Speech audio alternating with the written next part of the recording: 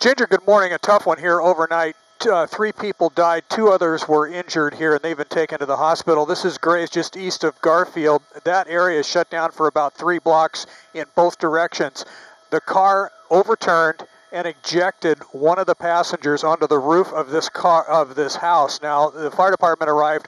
They removed the body and it's in between the two cars right now. Triple fatal here. They believe driving under the influence, speed were the major causes of this. Car went out of control again. Graves shut down both directions east of Garvey for about three blocks. This is all hap- or Garfield rather. This is all happening here south of Garvey, south of the uh, 10 freeway. Anyway, be careful on the drive, folks. Ginger, back to you.